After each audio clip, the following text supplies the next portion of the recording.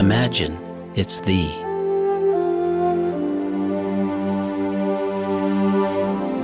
Confined in a dirty, tiny little crate.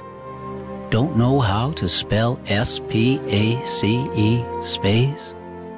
Wading in filth and urine and stench, never feel the sun or breeze on my skin.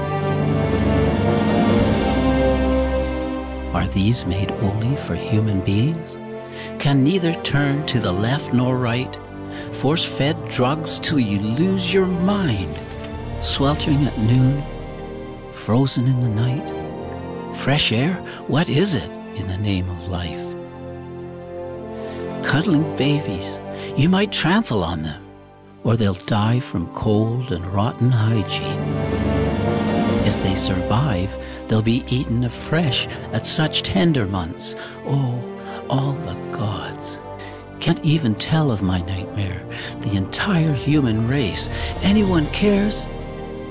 I live in terror and suffering my whole life just for their pleasure. A bloody bite.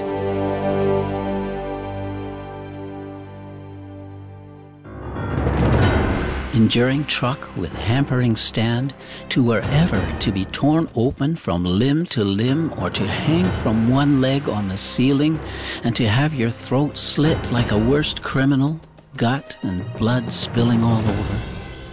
Amid crying, begging, and agonizing screams. How can anyone bear or enjoy such a sight? Have they all been dumb, deaf, and blind? Since when have humans become so cruel? Losing all their loving, kind nature, they kick, stab, slice, and torture. Oh, the pain is beyond endure. I cry for help. Is someone there? How come? Only blood. Blood. And blood everywhere. Within these cramped, dark, horror filled walls, there is no one but axes and shadows.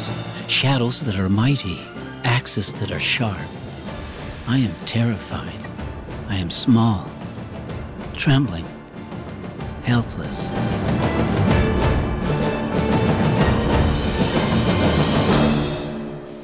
Oh, if you don't know if there is hell, come and see right here, nowhere else. Dear human friends, how can this be? Why? Why? Why must you torture and eat me?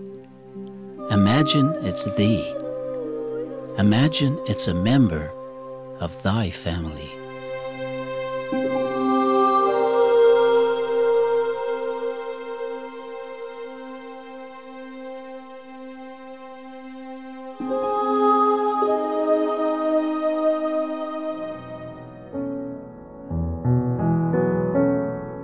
Veg Go Green to Save the Planet.